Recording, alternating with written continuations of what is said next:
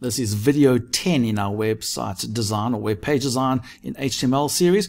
And we're going to look over the next three videos about how we can use tables. And we're going to start off with this video about an introduction into tables. How do we put tables into our website. Now, tables are very important um, in website design because sometimes people will use tables to lay things out exactly where they want them to be. So you can use that type of technique if you want to put stuff in tables, in invisible tables almost. But let's just learn the basics of a table. So let's say we've got this table. You can see it has three columns and it's got two rows. That's my table. Now, the first tag we're going to learn about is the table tag. Now, that will say when the table starts, and then we will have a closing table tag to say when the table ends. So, we've got our table there. Great. Now, let's look at that first row. There we can see the yellow. There's the first row. We need to define when the first row starts. And for that, we need a TR tag or table row tag. Okay? And then at the end of that row is where we will say this is the end of the row. So therefore, we've got a row there. Now inside that row, we've got one little block, one little cell. So we need to say, hey, this is a cell. And for that, we have the TD tag. And we could say this is the start of the block and the closed TD is where that's the end of the block. And whatever we want to display in that particular block will go between the two TD tags there.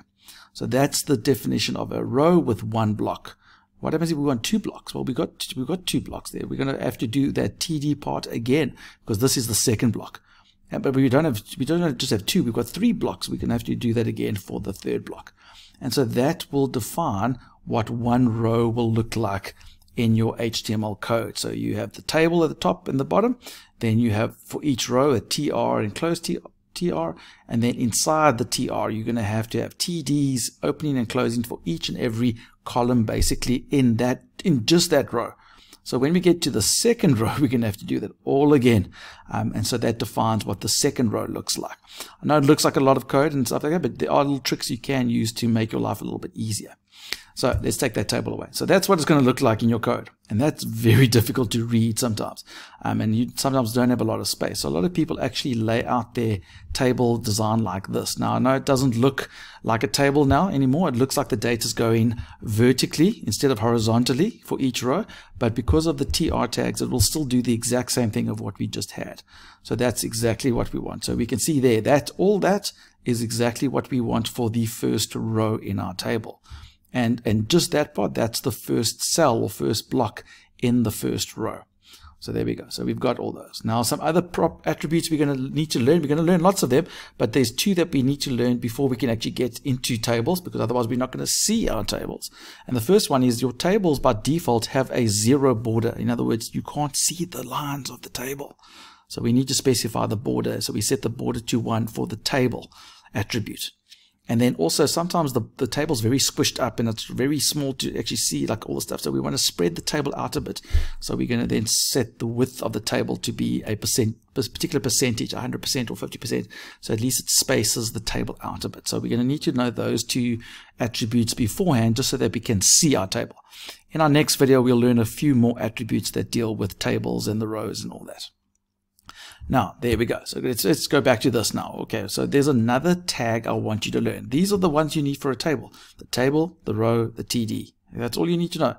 But there is another tag called a TH tag, which is ex works exactly the same as the TD tag. It's used as a block or a cell, and you can use it. But the difference between the TD and the TH is there. You can see it. The TDs, they're just normal text. They'll be left aligned if you leave it unformatted. Uh, but the THs by default are like headings, the headings of your table. Maybe you want headings uh, at the beginning of each row, so then it will go down vertically. But in this case, they're going across the page. So there you can see the heading tags, they are all bold and centered already without us even having to do anything to them. So those are how TH tags work. Okay, well now that we know the basics, let's go try create a table in our web page. Okay, for this part of the video, we're actually going to use the second page that we created in our video on links. So I've got the second page that I've created, and I've got this little, I want to have a table that looks something like that. Now over there, you can see exactly what this table is probably going to look like. But if I type it in like that, you see it, uh, this looks terrible. It doesn't look anything like a table. So let's try do our table. So I'm basically going to be saying, hey, this is the start of my table at the top. Okay, and then here at the bottom is where I'm going to, let's put this up a bit so we can see it. This is going to be the end of my table. Boom, boom, boom. There we go. Okay, so that's the stuff I'm going to put inside my table. Now, I don't think that actually does anything, really. It doesn't do anything. Okay, so now we need, this is going to be one row. Do you see that? So I'm going to make that one row. So that's a row. And this is going to be the end of the row. If that makes sense. Okay, so that's one row. Happy. Now again, we can't see anything in our tables. Nothing's happening. Now I'm going to put this in a block, this in a block, and this in a block. So let's go put our TDs around that block. Okay, and then let's do the same for this block. And then we're going to do the same for that block.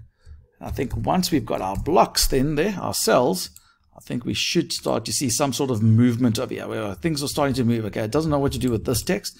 That's fine. We'll leave that out for now. Let's take this out the table for now. I'm going to move this over here. We'll move it in later.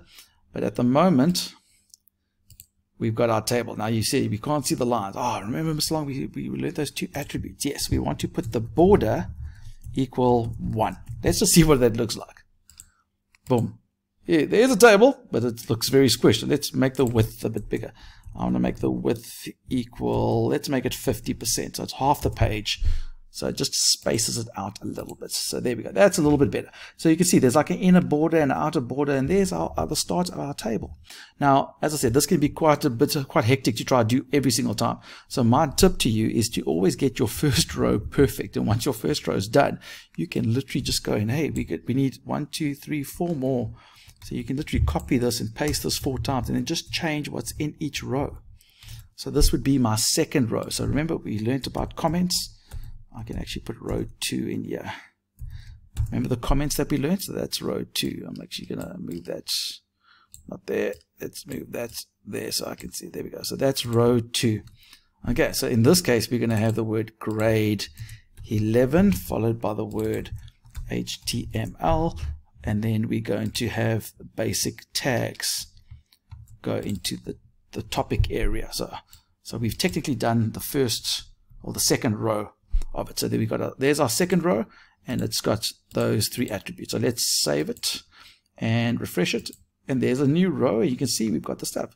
So I'm going to go ahead and just add the other ones quickly for you to save time.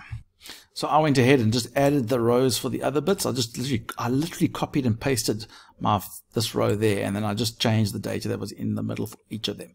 Okay, so there we go. So you can see our nice little table, but do you agree? This is probably the headings of this table. So I'm actually going to change these ones to THs. I want to change all of these to TH because those are headings. And then I'm going to change the close TDs to close THs because that's what it must close the TH. Okay, close the TH. Now that I've got them all closed, let's just see what that looks like. I want you to take note of that first row there. Do you see how it's gone bold and centered? Because that's what a TH tag will do. Okay, so there we go. We've got a nice little table. Um, you can put anything in here. You could put a bulleted list in here. You could put an image and that would be in the block in that particular cell. Um, you can change the fonts and stuff like that inside here. It'll make things bold and stuff like that. It'll change colors. You can do that all um, inside the, these tags, but that's the basic structure of a table. In our next video, we'll look at some more attributes about the tables and the rows and how we can make it look a little bit different as well. For more videos in this series, go to our YouTube channel, click on that subscribe button, leave a like, leave a comment, go to our playlist section and see what other topics could interest you. And remember, don't do it the long way. Do it the Mr. Long way.